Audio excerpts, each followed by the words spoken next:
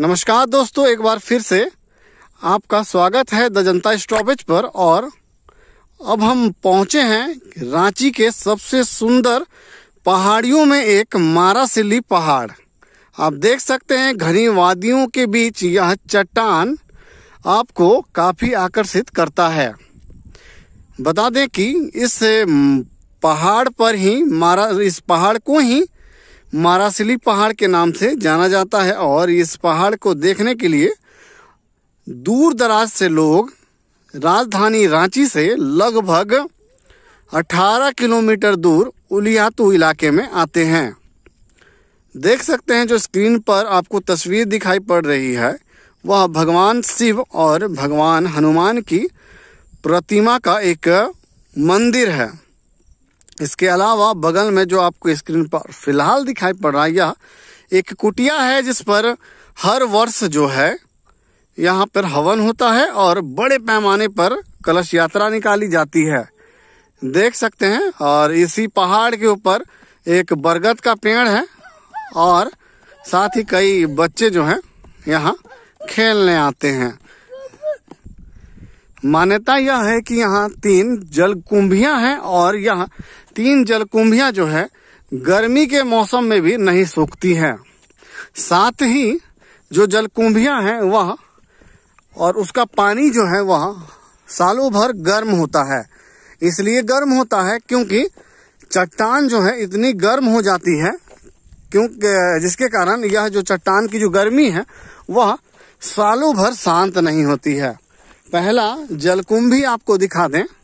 यह पहला जलकुंभी है जो आपके साम, सामने स्क्रीन पर है और आप देख सकते हैं यहाँ जो है इस जलकुंभी के अंदर कई तरह की मछलियाँ हैं और उसके अलावा सांप है।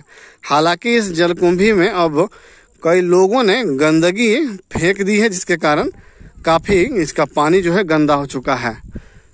दूर आपको दिखाते हैं घनी वादियाँ हैं और इन वादियों के बीच छोटे छोटे बच्चे खेल रहे हैं मनोरंजन के लिए यहाँ घूमने आए हैं अपने परिवार के साथ।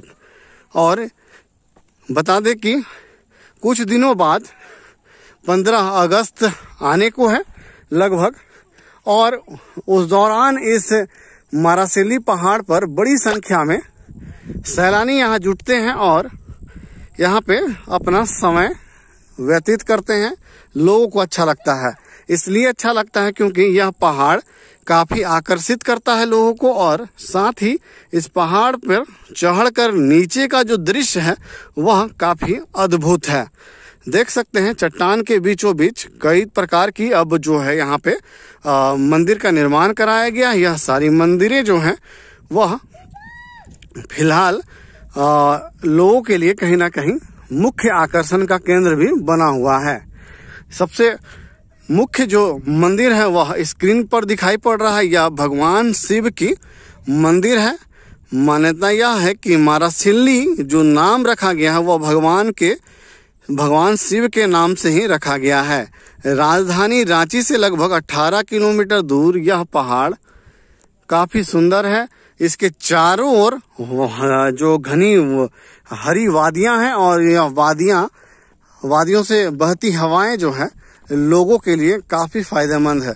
आसपास के जो लोग हैं, नामकुम के और उलियातू के जो लोग हैं, वह लोगों का कहना है कि सुबह अगर इस पहाड़ पर जो लोग मॉर्निंग वॉक करने आते हैं, कई लोग यहाँ पे समय बिताने आते हैं, उनका स्वास्थ्य जो है अन्य लोगों के स्वास्थ्य से अधिक बेहतर होता है। यह दृश्य आपके स्क्रीन पर दिखाई पड़ रहा है और यह अद्भुत दृश्य है। बता दें कि यहाँ पहला जलकुंभी है और दूसरा जलकुंभी आपको हम दिखाते हैं, जो कभी सूखता नहीं है। यह इस पर कई लोगों ने रिसर्च भी किया है और उसके बाद यह चीज़ें निकल कर आई है। यह दूसरा जलकुंभी है जो कभी सूखता नहीं है, इसकी घेराबंदी की गई है। आप देख सकते हैं, इससे अंदाज़ा लगाया जा सकता है कि यह काफ़ी जो है पुराना है और मान्यता प्राप्त है। और तीसरी जलकुंभी आपके सामने अब स्क्रीन पर दिखाई दे रहा होगा। देख सकते हैं, यह जो है जलकुंभियाँ हैं, जो कि अद्भुत और काफ़ी सुंदर जलकुंभिया है।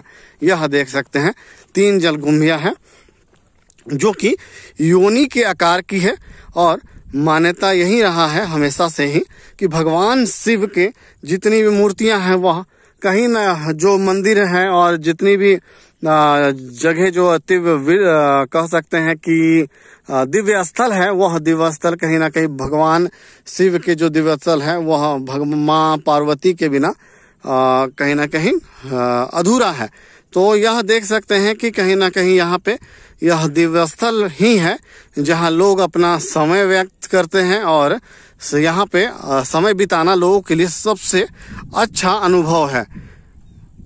यहाँ से जो दृश्य आपको दिखाई पड़ रहा है, वह भी दृश्य काफ़ी सुंदर है। मनोरम दृश्य और इस दृश्य के बीच लोग अपना समय बिता रहे हैं। अब लोगों के लिए यह जो है मारासेली पहाड़ पर्यटन स्थल के तौर पर विकसित हो चुका है।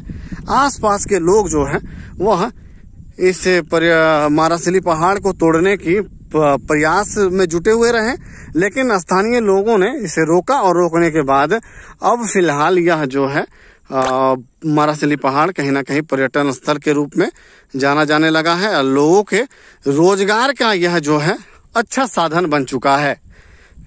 यह आखिरी दृश्य आपको दिखा दें कि यही है वह जलकुंभ है, जहाँ पे जो है, पहला जलकुंभ है, जहाँ की, जहाँ पे जो है कभी भी जो पानी है वह नहीं सूखता है।